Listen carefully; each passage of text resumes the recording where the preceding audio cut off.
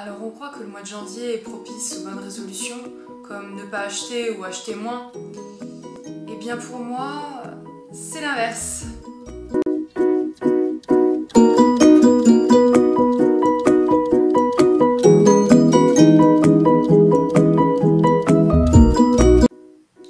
Bonjour à tous, je suis contente de vous retrouver pour le book haul du mois de janvier. Et oui, pour le mois de janvier, je n'ai pas moins de 15 livres à vous présenter et qui ont intégré ma bibliothèque. Avant de vous parler de ces achats livres, je vais vous parler de la commande que j'ai faite sur la boutique Etsy de Chloé. Euh, je vous mettrai toutes les informations sur sa boutique en barre d'infos parce que j'ai euh, commandé sur sa boutique le calendrier de l'Avent, donc qui était normalement prévu pour le mois de décembre, mais euh, j'en ai entendu parler grâce à la vidéo sur les marque-pages de la chaîne Patatra. Et suite à sa vidéo, j'ai décidé de contacter la, créatrice de la boutique Etsy pour lui commander le calendrier de l'avance s'il était encore disponible. Et heureusement, il y en avait encore un de disponible, donc je l'ai commandé. Je vous présente justement les 24 marque-pages sur euh, ma page sur mon compte Instagram. Je vous invite à y aller, à vous abonner et au fur et à mesure de mes lectures, j'ouvre une nouvelle enveloppe avec le nouveau marque-page. Ce sont tous des marque-pages euh, magnétiques euh, et j'ai la surprise à chaque fois que j'en ouvre un. Et vous également. Bon, comme je l'ai dit en début de vidéo, j'ai 15 livres à vous présenter, dont 4 neufs, et le reste, c'est de l'occasion. Alors, en début de mois, j'ai été à France Loisirs et je me suis procuré euh, deux tomes euh, de deux sagas différentes. Tout d'abord, j'ai pris la suite euh, de la saga Red Rising Golden Sun,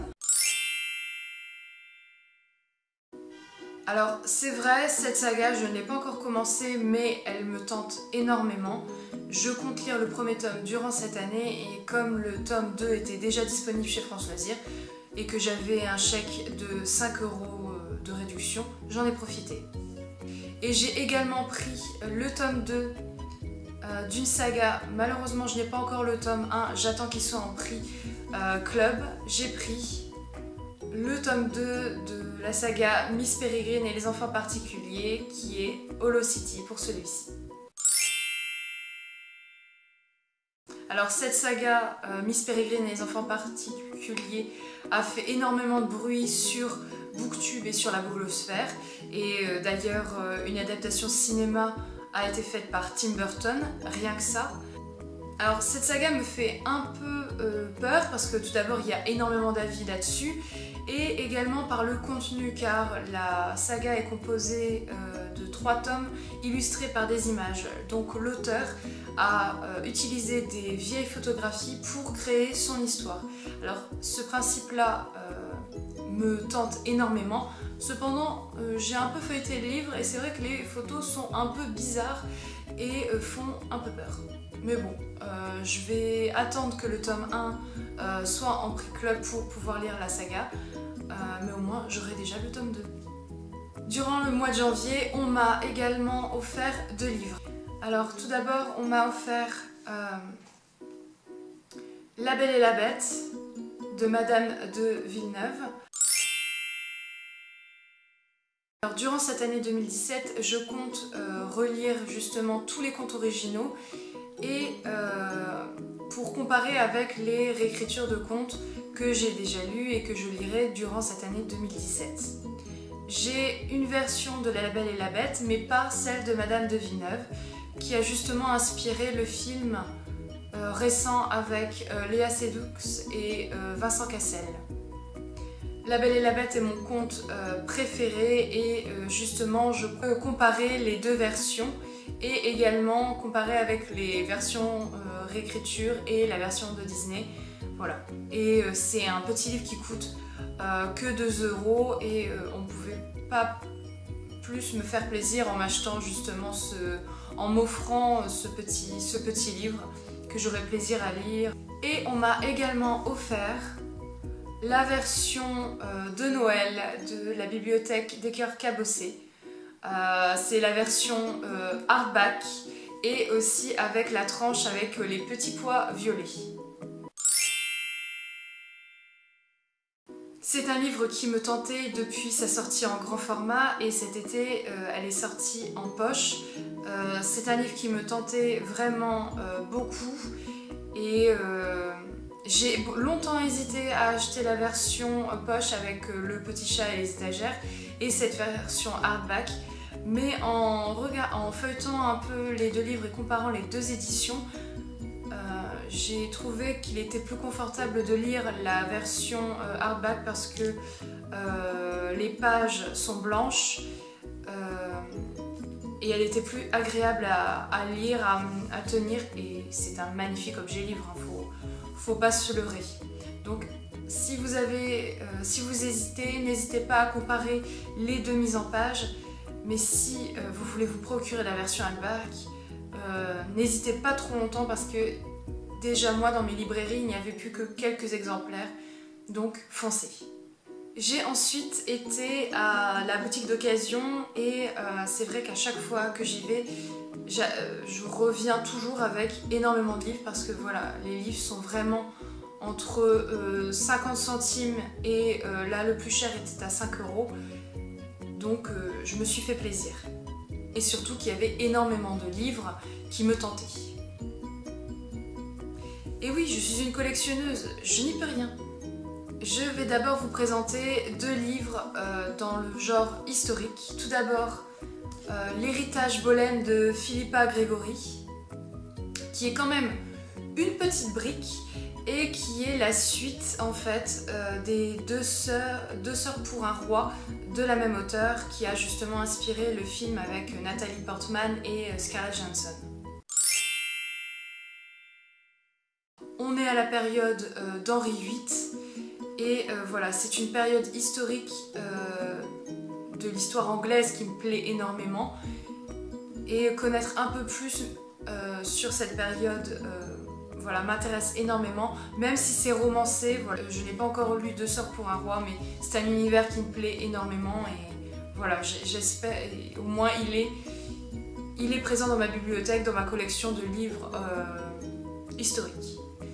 Maintenant, je vais vous présenter une biographie d'un personnage historique qui me plaît énormément. Il s'agit de la biographie de Antonia Fraser de Marie-Antoinette, qui a aussi euh, inspiré le film de Sofia Coppola euh, sur Marie-Antoinette. Il existe euh, deux grandes biographies, celle d'Antonia Fraser et celle de Stefan Zweig. Ce sont deux biographies que je voulais absolument avoir dans ma bibliothèque. Là, j'ai déjà celle de Antonia Fraser. Il me reste plus qu'à avoir celle de Stéphane et c'était deux livres que je voulais en occasion et là à 75 centimes je ne pouvais pas dire non. Dans le style euh, roman euh, contemporain, je me suis également prise Ni d'Ève ni d'Adam euh, d'Amélie Nothomb. Alors vous savez maintenant que je collectionne tous les livres poches sortis par et écrits par Amélie Nothomb. Et celui-là, je ne l'ai pas encore lu. C'est un, un petit livre que euh, j'aurai l'occasion de lire cette année. Et j'ai découvert que ce livre euh, a une adaptation cinématographique également. Euh, si j'ai l'occasion, je la regarderai suite à ma lecture de ce petit livre. J'ai également pris une BD qui était à 1,50€, alors j'en ai profité. J'ai pris Ma vie est tout à fait fascinante de Pénélope Bagieux. Alors Pénélope Bagieux, je la connais grâce à sa saga BD euh, Joséphine. Euh, ma vie est tout à fait fascinante, reprend le même graphisme que Joséphine, mais avec des anecdotes sur la vie euh, de Pénélope Bagieux, ou en tout cas sur une femme de 30 ans. Ce genre de BD est dans la parfaite lignée de, des Margot Motin, des Digli, euh, si voilà, vous voulez découvrir une autre, une autre auteure que je collectionne tous ses livres en poche, c'est euh, Sophie Kinsella. Euh, ici, elle prend le nom, son véritable nom, parce que Sophie Kinsella est son nom de, plume. Donc ici, euh, il s'agit de Cocktail Club. C'est un one-shot. Et je ne connais rien du tout à l'histoire, mais comme je l'ai vu, euh, je me suis dit, voilà, il, rentrera dans ma collection des Sophie Kinsella. C'est un roman chicli. Alors quand j'ai vu ce roman, en occasion, en bon état, j'ai un peu halluciné parce qu'on l'a vu énormément dans les pales du challenge Cold Il s'agit de, L'esquisse clarté d'un rayon de lune de Sarah Morgan.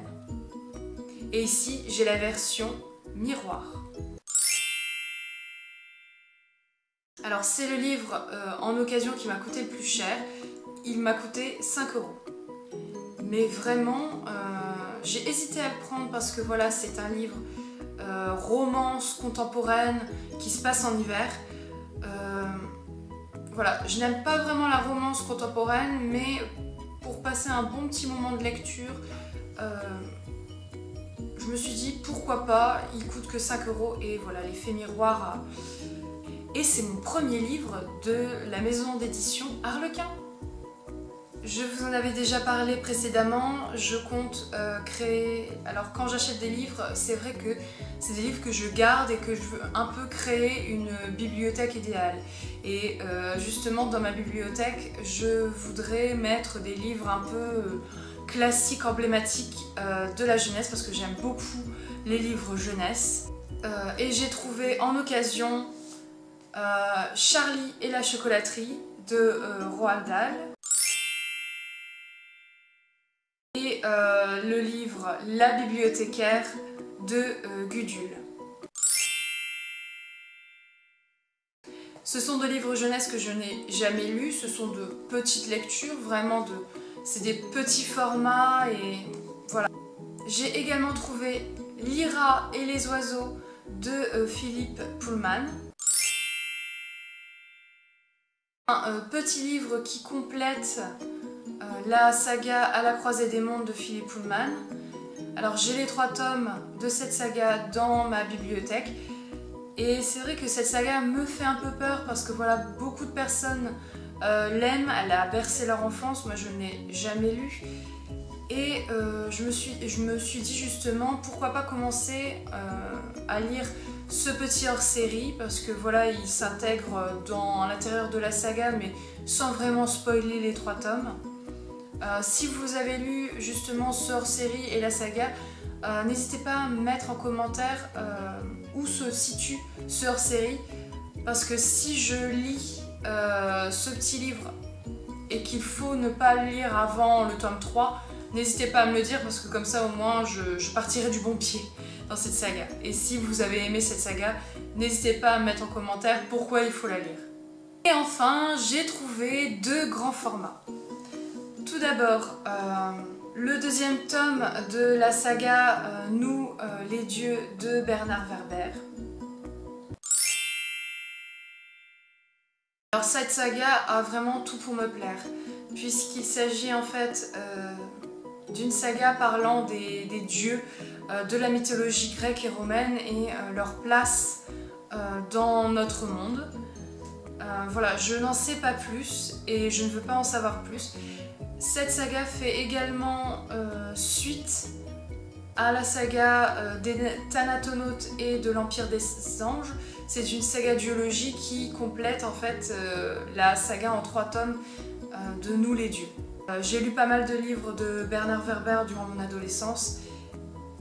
J'ai laissé un peu de côté cet auteur et en redécouvrant une des nouvelles de cet auteur dans 13 euh, à table, ça m'a redonné envie de, sortir les derniers livres de ma bibliothèque. Et là, euh, c'est vrai que cette saga Nous les dieux me tente beaucoup, donc comme ça, si j'ai lu le premier, je pourrais enchaîner avec le deuxième tome. Je vous présente mon dernier rachat de ce mois de janvier. voilà, vous, vous, connaissez maintenant mon côté superficiel. Vous savez que j'ai adoré la saga La sélection de Kirakas. Oui, vous savez, ces livres avec ces magnifiques couvertures, avec une fille en, belle robe. Eh bien, c'est également une saga avec des filles qui sont en couverture avec de magnifiques robes. Il s'agit de la saga euh, The Luxe, Donc ici le premier tome, Rebelle. Voilà, ce livre était à 2 euros, je me suis jetée dessus évidemment. Euh, c'est une saga en 4 tomes. Euh, c'est un mélange un peu de Gossip Girl mais version 19e siècle. Donc pourquoi pas? Je vous remercie d'avoir regardé cette vidéo. Je vous dis à très bientôt et je vous souhaite de bonnes lectures.